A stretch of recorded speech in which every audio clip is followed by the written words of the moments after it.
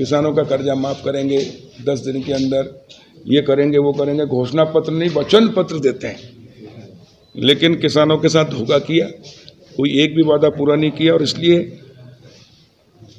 प्रदेश की जनता की बदुआएँ लगी, गरीबों की, किसानों की हाय लगी, इसलिए सरकार गई और भारतीय जनता पार्टी की सरकार पुणे आई और गाँव गरीब किसानों के मसीहा शिवराज सिंह चौहान जी पुणे मुख्यमंत्री बने। उन्होंने मुझे कृषि मंत्री का दायित्व दिया। और मैं किसान का बेटा हूँ। किसानों की समस्या क्या क्या आती है, तकलीफें क्या क्या होती है? बोनिंग करने से लेकर बीज, खाद, दवाई से लेकर बेचने तक किस प्रकार उनको जूझना पड़ता है?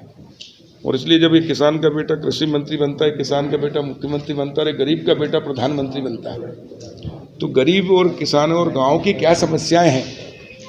ये उससे भुगत चुके होते हैं। और इसलिए जब हम सत्ता में आए और हमारे पास अधिकार आया तो हमने अपने गाँव के किसानों के लिए, गरीबों के लिए, प्रदेश और देश के विकास के लिए हमने योजनाओं में, नीतियों में परिवर्तन किया। जो नीतियाँ गाँव गरीब और किसान के अहित में थी, उनको हमने हटाया। और गाँव गरीब और किसान के हित में, प्रदेश और देश के हित में जो नीतियाँ बन सकती थी, वो हमने बनाई। कांग्रेस कहती कुछ और करती कुछ। हाथी के दांत दिखाने के और खाने के और घड़ियालू आँसू बहाते, नोटंकी करते। जैसे ही मुझे कृषि मंत्री का दायित्व मिला, मैंने तीसरे ही दिन बड़वा के अंदर मैंने बताया था कि तीन करोड़ का नकली बीज पकड़ाया। इंदौर में भी जापे डलवाए। जहाँ जहाँ नकली बीज दवाई था वहाँ कार्रवाई की है। अभी तक लगभग अठहत्तर अस्सी एफ़ हो चुकी दो साल के अंदर, जो कभी पचास साल में नहीं हुई होगी इतनी। सेवेंटी एट के आसपास है, लेकिन और भी बढ़ रही है। और उसके कारण खाद, बीज और दवाई में जो गड़बड़ियाँ थी, उसमें बहुत कुछ सुधार करने में हमें सफलता मिली है, मैं गर्व से कह सकता हूँ। दूसरा, किसान की फ़सल जो होती है, जो खरीदे के नियम थे वो गड़बड़ थे। कमलनाथ जी जब मुख्यमंत्री थे, अधिकारियों ने उनको खुश करने के लिए छिंदवाड़ा में उन्नीस कुंटल प्रति हेक्टर चना खरीदा। प्रधानमंत्री आवास बन चुके हैं पक्के, और सीधे किसानों गरीबों के खातों में जा रहा है, एक पैसा भी कोई नहीं खा सकता। और ये भी नहीं, जो हितग्राही है, उन्होंने भी कई मोटरसाइकिल ले ली थी, ये कर ली, उनके खिलाफ भी कार्रवाई की है, ताकि मकान बने। और मैंने कल साढ़े तीन लाख किसानों के खातों में, गरीबों के खातों में साढ़े तीन लाख नए मकान आवास प्रधानमंत्री आवास स्वीकृत किए हैं। 2024 तक सबको मकान मिल जाएँगे। मध्य प्रदेश सरकार में मुख्यमंत्री जी के नेतृत्व में हमने नया भू अधिकार कानून लेकर आए हैं। जिन गरीबों के पास रहने के लिए जगह नहीं है, उनको जगह देंगे, उनको प्रधानमंत्री आवास देंगे 2024 तक सबको आवास हो जाएँगे। ये प्रधानमंत्री नरेंद्र मोदी जी का जो संकल्प और यही महात्मा गांधी जी और अमर शहीदों ने सोचा था। तो जो काम साठ साल में नहीं हुआ, वो सात साल के अंदर हो गए। साढ़े नौ करोड़ गैस टंकी चूल्हा दे दिया, जो हमारी माता बहने चूल्हा फूक फूक के आँखें खराब हो जाती थी, उनको दिया। तो कांग्रेस को तो बात करने का, राजनीति करने का कोई नैतिक अधिकार ही नहीं है। क्या किया साठ साल में? जनता पूछ रही, हम पूछ रहे हैं। और हमने सात साल में ये किया हम दिखा रहे हैं। और आने वाले पाँच साल के अंदर मैं कह रहा हूँ कि प्रधानमंत्री जी ने जो स्वामित्व योजना लाए गाँव के लिए, कि गाँव हमारे बावन हज़ार गाँव तो मध्य प्रदेश में उनका ड्रोन से सर्वे हो रहा है, गाँव आबादी में बसता है। और आबादी का मालिकाना हक नहीं है मतलब रहने को कोई हटा नहीं सकता, मेरे गाँव गाँव में। लेकिन मेरा मकान अगर एक लाख का, दस लाख का, एक करोड़ का है, पाँच करोड़ का है, एक रुपए की बैंक लोन नहीं देगा, एक रुपए की कोर्ट जमानत नहीं देगी, एक रुपए की लिमिट नहीं मिलेगी, एक रुपए की सालवेंसी नहीं बनेगी। और इसलिए गाँव पिछड़ गए। मुट्ठी भर शहर के लोग, शहर की प्रॉपर्टी की वैल्यू होने से बैंक लोन देती है जमाना तो लिमिट मिलती है साल। इसलिए उद्योग, धंधे, व्यापार, व्यवसाय सब्सिडी लेकर आगे बढ़ गए। तो गाँव हमारा पिछड़ गया। कांग्रेस की गलत नीति के कारण। लेकिन प्रधानमंत्री नरेंद्र मोदी जी ने गाँव के विकास के लिए, और महात्मा गांधी कहते थे, असली भारत गाँव में बसता गाँव के विकास से देश का विकास होगा, लेकिन गांधी जी के नाम पर आज करने वालों ने नहीं किया। मोदी जी ने किया, इसलिए सच्चे गांधीवादी मोदी जी इससे गाँव की तकदीर, तस्वीर बदलेगी, दशा दिशा बदलेगी गाँव भी आत्मनिर्भर होंगे। अब पलायन रुकेगा। गाँव में इंडस्ट्री लगेगी कृषि पर आधारित। किसान का बेटा ही लगाएगा। इसके लिए प्रधानमंत्री जी ने कृषि अधोसंरचना विकास के लिए एक लाख करोड़ की व्यवस्था की है फंड। दस हज़ार कृषि उत्पादक समूह बनेंगे। हर ब्लॉक में कलेक्टर और डिप्टी डायरेक्टर और बीमा कंपनी और पंचायतों सबको इकट्ठा करके और पंचनामा बनाकर काम करा है। और इसलिए एक एक किसान को संतुष्ट किया है। आप लोग भी समाचार पर देखते हैं। कोई किसान की ये बात नहीं है कि मेरे खेत में नहीं आया, सर्वे नहीं हुआ। ये पहली बार हुआ है कि कोई विपक्ष की तो मांग छोड़ दो, विपक्ष को तो होश ही नहीं। लेकिन किसान भी नहीं चिल्ला पाया वो किसान पहुँचा, उसके पहले हम पहुँच गए खेतों में। और एक एक किसान का सर्वे करा के दिया तो आरबीसी छः चार में भी हम देंगे। और अभी तक जो सर्वे हुआ, एक लाख चौंसठ हज़ार हेक्टर के आसपास नुकसान हुआ है। और उनको आरबीसी छः चार में भी हम राशि देंगे, तीस हज़ार रुपये हेक्टर पचास परसेंट से ऊपर अगर खराब होती नज़र यहाँ आंक लेंगे और बीमा की राशि दिलाएँगे ताकि किसान को जितनी क्षति हुई उसकी पूर्ति हो जाए, ताकि किसान को घाटा ना हो। क्योंकि हमारा मानना है कि किसान जो खेती करता है वो सिर्फ़ अपने अपने परिवार के लिए नहीं करता, वो समाज और देश के लिए करता है। अभी कोरोना के संकट में हमने देखा, जब उद्योग, धंधे, व्यापार, व्यवसाय सब बंद हो गए तो खेती ही थी, जो चालू थी, उसके कारण हमको दोनों टाइम भोजन, सब्ज़ी और दूध मिला और अर्थव्यवस्था भी देश की कृषि के आधार पर टिकी रही। और इसलिए किसान की क्षति, राष्ट्र की क्षति, किसान की क्षति की ज़िम्मेदारी सरकार ने ली है। और इसलिए किसान की क्षति नहीं है, सरकार पूरी उनका संकट, हमारा संकट हमने लेकर मुख्यमंत्री जी के नेतृत्व में, प्रधानमंत्री जी के नेतृत्व में हमने पूरा किया। और इसलिए हमारा प्रदेश का किसान संतुष्ट है। और हमें संतोष और हमारा मंत्री बनना सफल नहीं, सार्थक हो गया। अगर मैं कृषि मंत्री नहीं होता, शिवराज जी मुख्यमंत्री नहीं होते तो ये जो सोलह हज़ार पाँच सौ दो करोड़ रुपया प्रधानमंत्री जी नहीं होते तो ये नहीं मिलता, आज तक नहीं दिया। कांग्रेस ने पिचहत्तर साल में से साठ साल राज किया। छः साल अटल जी और सात साल मोदी जी तेरह साल भाजपा, वो दो साल अन्य को मान लो। पिछहत्तरवा वर्ष चल रहा अमृत महोत्सव। हम तुलना करें साठ साल बनाम तेरह साल की तो मैं दावे के साथ कह सकता हूँ कि हर क्षेत्र में भारतीय जनता पार्टी का प्रभाव भारी है। साठ साल में कांग्रेस ने जहाँ एक शौचालय गरीब का गाँव में नहीं बनाया, हमने करोड़ों बना दिए। महात्मा गांधी जी के सपनों को कांग्रेस ने साकार नहीं किया, नकली गांधी बनकर राज किया साठ साल। लेकिन भारतीय जनता पार्टी ने सच्चे गांधीवादी कोई है तो अटल जी और नरेंद्र मोदी जी हैं, जिन्होंने गांधी जी के सपने को साकार किया, स्वच्छ भारत किया। शौचालय बनाए, गरीबों को पक्के मकान दिए, एक पक्का मकान नहीं दिया साठ साल में, एक। इंदिरा आवास आती थी, उसमें फिफ्टी परसेंट से ज़्यादा पैसे खा जाते थे। राजीव गांधी जी कहते थे, मैं दिल्ली से एक रुपया भेजता हूँ, गाँव में जाते थे, पंद्रह पैसे रहते, पिचासी पैसे सत्ता के दलाल खा जाते। सत्ता भी उनकी थी, दलाल भी उनके थे। मोदी जी कहते, ना खाऊँगा, न खाने दूँगा और इसलिए जनधन खाते खुलवाए, सीधे खातों में पैसा आ रहा है। और इसके कारण वनवासी जो, जिनको सबसे ज़्यादा आवश्यकता है, उनको भी बीमा मिलेगा। और बीमा जिनका केसीसी होता है, उनका होता था, लेकिन हमने घर घर जाकर बीमा कराया। और रविवार के दिन दो बार बैंक खुलवाई। दो रविवार तारीख बढ़ाते गए, आखिरी तारीख थी। सोमवार तो इसके पहले एक दिन, अगर आखिरी दिन जाता किसान कहता कि आपका गिरदावरी नहीं आई ये नहीं आई तो समय निकल जाता इसलिए रविवार को बैंक खुलवा के सबका बीमा कराया। तो हमने चुम्बालीस लाख किसानों का बीमा कराया है 2020 का। और मुझे बताते हुए खुशी है कि माननीय मुख्यमंत्री जी के साथ कल मेरी बैठक हुई है। बुलाया था मुझे। हमने तय किया है कि फरवरी में, पंद्रह फरवरी के पहले पूरा तैयारी करके हम किसानों को बीमा देंगे, जो सोयाबीन की फ़सल 2020 में खराब हुई थी। लगभग सात हज़ार छः सौ करोड़ से भी अधिक राशि उनके खातों में डाल देंगे। मुख्यमंत्री जी, एक क्लिक दबाएँगे, किसानों के खातों में चली जाएगी। ये है किसानों की सरकार जो हम कहते हैं। इस बार, अभी रबी में बेमौसम बारिश हो गई, ओले गिर गए, फ़सल खराब हुई। और ओले में एक साथ पटवारी हल्का इकाई है, लेकिन कभी भी पूरे पटवारी हल्के में ओले नहीं गिरते, एक पट्टी में गिरते हैं, ऐसी लंबी लंबी लाइन। तो उसमें एक गाँव के एक पटवारी हल्के के, किसी में पचास किसान, किसी के सौ किसान, दो सौ किसान, लंबी लंबी। और जब आनावारी होती तो पूरी पटवारी हल्के की होती है। जब मैं राजस्व मंत्री था, तब तहसील इकाई थी, जब अटल जी ने प्रधानमंत्री फ़सल बीमा योजना लागू की थी। क्योंकि मैं किसान का बेटा हूँ, इसलिए हमने उसको पटवारी हल्का किया। उस समय पटवारी हल्के ग्यारह थे। फिर तेईस हज़ार ग्राम पंचायत हमने पंचायत के पटवारी हल्के कर दिए।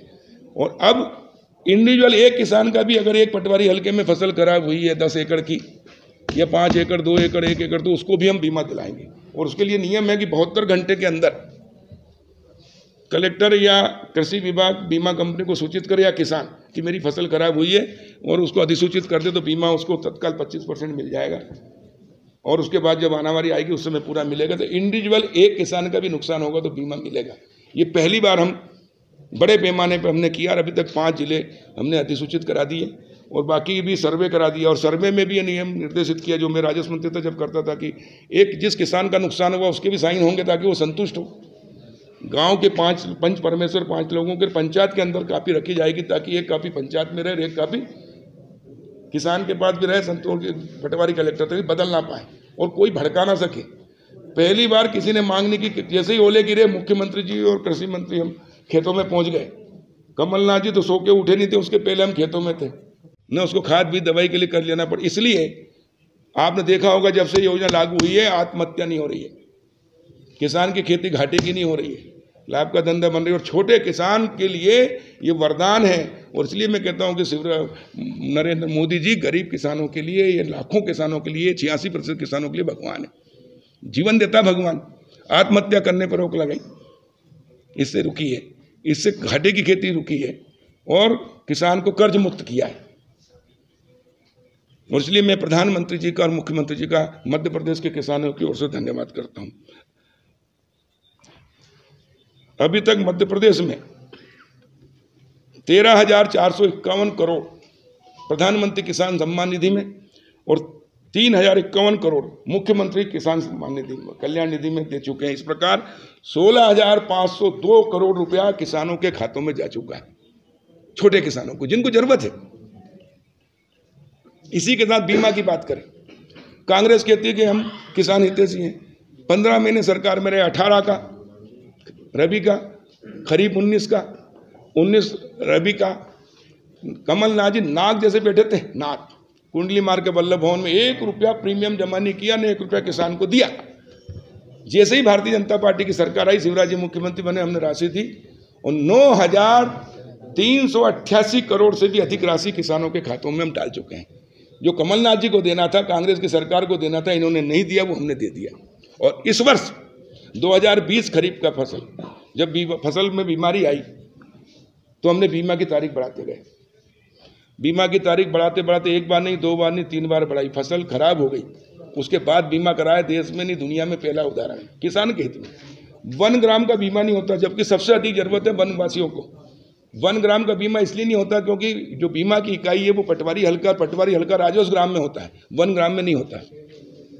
मैंने हरदा और सीहोर का जो नर्मदा में बाढ़ आई थी तो मेरे क्षेत्र में गया तो मैंने उन किसानों से कहा कि तुम्हारा मैंने मुआवजा ये तो दे दिया है, बीमा दिला दूँगा। उन्होंने कहा, हमारा बीमा ही नहीं होता क्योंकि बीमा वन ग्राम में हमारा, मेरी विधानसभा में एक ही ग्राम ग्राम होगा, नर्मदा किनारे। मैंने वही कलेक्टर को कहा तो बोले, सर, नियम नहीं है, मैं नियम कौन बदलता? बोले, सरकार, मैंने हम क्या बोले, सरकार हमने कहा बदल रहा है। कैसे बदलेंगे? मैंने कहा कि इसको पटवारी हल्के से लिंक कर दो जो पंचायत का है। और वहाँ सालियाखेड़ी पंचायत थी तो उससे लिंक करा दिया तो उनका बीमा हो गया। और पूरे प्रदेश का देश में पहला राज्य मध्य प्रदेश, जहाँ वन ग्राम का भी बीमा हो रहा है। प्रधानमंत्री नरेंद्र मोदी जी ने दिसंबर 2018 से किसानों की समस्या क्या है इसको समझा और एक नया कानून लाए, नई मतलब योजना लाए। प्रधानमंत्री किसान सम्मान निधि। दो दो हज़ार करके साल में तीन किस्तों में छह हज़ार एक किसान के खाते में डलते हैं। वयस्क किसान पति पत्नी नाबालिग बच्चा, एक किसान। अगर उसके एक किसान है, चार बेटे हैं और वो भी बालिग हैं उनके खाते अलग हैं। तो चारों बेटों को भी छः छः हज़ार मिलेंगे। और मैंने जैसे बताया कि छियासी प्रतिशत किसान हमारे छोटे मध्य प्रदेश में एक करोड़ चार हज़ार किसान हैं। इसमें से छिहत्तर लाख पैंतीस हज़ार किसान ऐसे हैं जिनके पास आधा एकड़, एक एकड़, पाँच एकड़ से नीचे ज़मीन है। दो हेक्टर से कम। फिर पाँच से दस हेक्टर वाले दस लाख किसान हैं। फिर दस से पच्चीस तक के दस लाख किसान हैं। मात्र तिरसठ हज़ार किसान हैं जो पच्चीस एकड़ से ऊपर वाले खाते हैं, यानी एक परसेंट भी नहीं है। लेकिन लोग किसान उसी को मानते हैं, पच्चीस एकड़ से ऊपर वाले को, छोटों को किसान मानते ही नहीं है। और इसलिए प्रधानमंत्री जी ने सही नब्ज पकड़ी कि किसान घाटा की खेती क्यों करता है, कर्ज में क्यों रहता है, आत्महत्या क्यों करता है?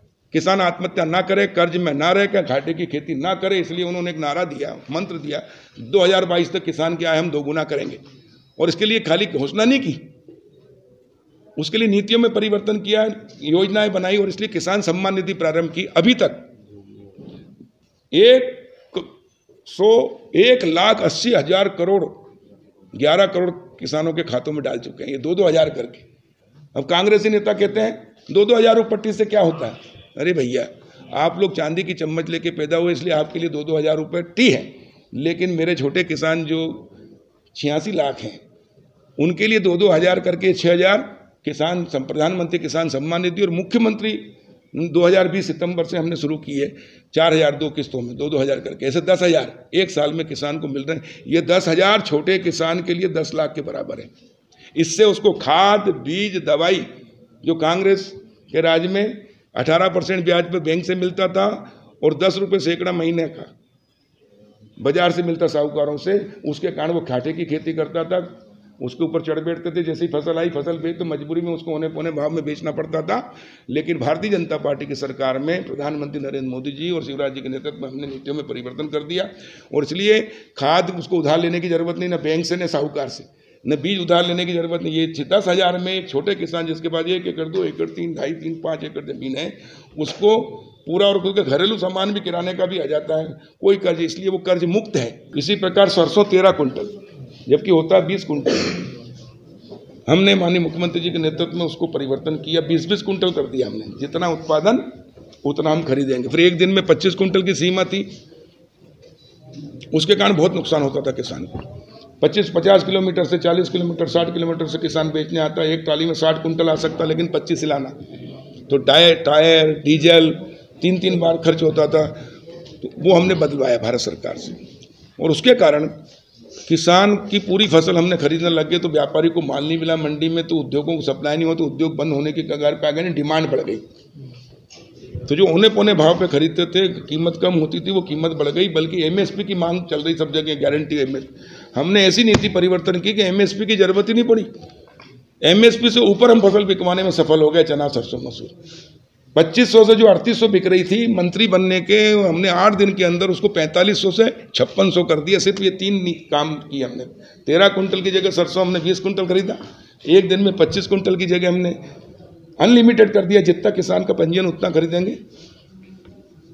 और उसके कारण, और पच्चीस पच्चीस सौ से अड़तीस सौ से पैंतालीस सौ, छप्पन सौ हो गई। चना तीन हज़ार, चार हज़ार था, वो पाँच हज़ार से ऊपर हो गया। और पहले ही एक महीने के अंदर हमने एक हज़ार करोड़ किसान को ज़्यादा दिलाया। अगले साल हमने घोषणा की कि हम मई में खरीदी जाती थी, अब जैसे फ़सल आएगी रबी की। चना, सरसों, मसूर। मसूर जनवरी, फरवरी में आ जाता, फरवरी में पूरी कट जाती है। खरीदी जाती थी मई में। सरसों, फरवरी, मार्च में आ जाती, खरीदी जाती थी मई में। और चना फरवरी में आ जाता, खरीदा जाता था मई में। इसके कारण किसान जो हमारा 86 परसेंट छोटा है, पाँच एकड़ से नीचे, दस एकड़, वो रख ही नहीं पाता था। मंडी में मजबूरी में बेचना पड़ता था, इसलिए भाव कम होते थे, क्योंकि माल ज़्यादा होता था, पूर्ति ज़्यादा होती थी, मांग कम होती तो रेट गिरते थे। जब किसान की फ़सल आती थी, तब रेट कम हो जाते। जब किसान के हाथ से फ़सल निकल जाती, तब रेट डबल हो जाते। किसान पछताता था, मुट्ठी भर लोग व्यापारी, उद्योगपति कमाते थे। हमने उस नीति में परिवर्तन किया और उसके कारण इस बार पंद्रह मार्च से खरीदी शुरू की थी हमने पिछले बार। और उसके कारण समर्थन मूल्य चने का था इक्यावन सौ, सरसों का था छियालीस सौ और इक्यावन सौ था मसूर का। जो पहले कम में बिकता था, हज़ार, दो हज़ार रुपये कम, वो हज़ार पाँच सौ रुपये ज़्यादा बिक गया। तो दस हज़ार करोड़ रुपए हमने किसानों को ज़्यादा दिलाए। ये हमारी सबसे बड़ी उपलब्धि है। दस हज़ार करोड़ हिंग लगाना फिटकरी और रंग आगे चौका। जो मुट्ठी पर व्यापारी उद्योगपति कमाते थे, वो किसानों को दिया। ये है सत्ता परिवर्तन से व्यवस्था परिवर्तन और हम कहते हैं हम गाँव गरीब किसानों के बेटे हैं, किसान के और किसान की सरकार है तो हमने करके दिखाया। कांग्रेस ने क्यों नहीं किया? हम पूछ रहे हैं कमलनाथ जी को, पंद्रह महीने रहे, तुम किसानों के हित कर सकते थे?